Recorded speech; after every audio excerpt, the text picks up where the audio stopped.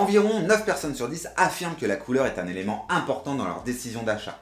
Quand on débute dans les métiers des arts graphiques, la couleur est au cœur de nos créations et nous avons bien souvent du mal à déterminer son utilité. Comment choisir une palette de couleurs pour son projet? Comment créer des harmonies de couleurs fonctionnelles? Comment justifier ses choix de couleurs face à un client ou à votre hiérarchie? Saviez-vous que le fait de travailler dans une ambiance aux couleurs bleues décuplera naturellement votre créativité?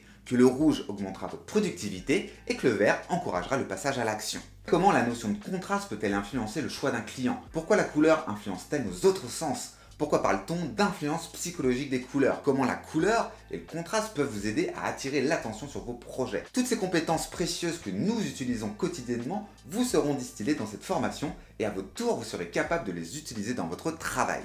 Bonjour pour ceux qui ne me connaissent pas encore, je suis Damien, je suis en charge de la direction artistique du collectif Teammate. J'exerce la profession de designer graphique depuis 15 ans. J'interviens en tant que mentor sur les parcours protuto.com et je suis également professeur en digital design en école de communication. Mes 10 ans d'expérience en création de contenu digital m'ont permis de répondre en vidéo à des réelles problématiques métiers que vous pouvez retrouver dans mon catalogue de formation. Ce cours est une suite logique aux deux précédentes formations sur les thèmes de la typographie et des règles de base de la composition graphique. Toutes deux très appréciées de la communauté, ces dernières ont reçu des commentaires et des évaluations très positives.